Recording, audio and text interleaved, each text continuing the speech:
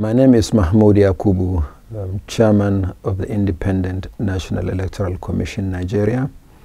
I'm here at the USIP for an engagement ahead of the forthcoming general elections in Nigeria holding on the 25th of February 2023.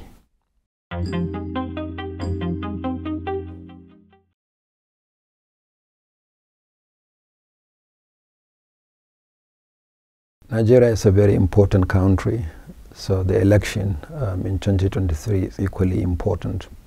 Um, the sheer number of registered voters in the country um, uh, projected at 95 million, as well as the um, number of political parties involved in the election make Nigeria's election so important and huge. Nigeria is a country in West Africa. There are 15 countries, including Nigeria. But the voter population of the other 14 countries put together is over 20 million less than the number of registered voters in Nigeria.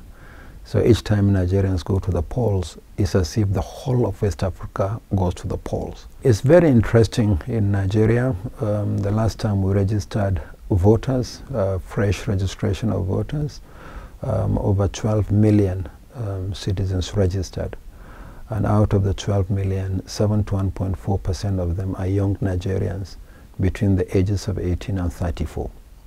So it is interesting and exciting for us that the young people are engaging in the democratic process and they are increasingly having confidence in the process. That's why they are registering to vote.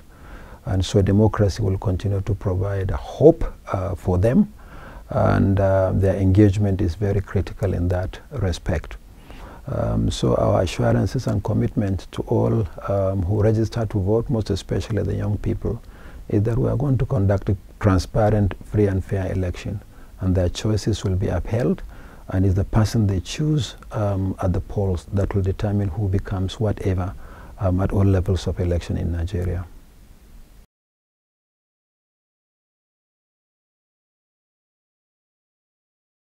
Well, this is um, the seventh consecutive presidential or general election in Nigeria since the restoration of democracy in the country in 1999.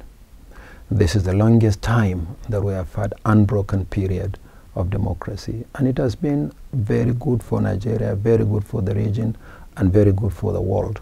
Nigeria has been playing consistently a supportive role um, for democracy and democratization in the sub-region um, providing assistance to other countries uh, to conduct credible elections.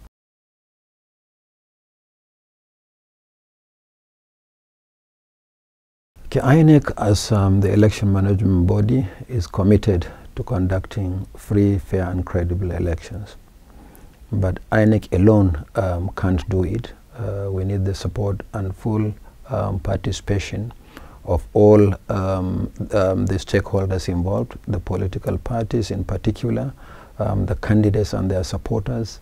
Um, so I would like to appeal particularly to the political class to join hands with the Commission in ensuring a transparent process and a transparent election. Um, because they are going to sponsor the candidates for the election. Um, their supporters will go around to campaign. Uh, and so there is need um, to keep things uh, calmly in the country uh, so that um, they can vote um, in peace and the process will be protected. In other words, it's not just the Electoral Commission that conducts elections. Uh, everybody has a responsibility, uh, the political class to ensure that there's no violence or thuggery, and as well as the Electoral Commission that conducts the election to ensure that the processes are credible.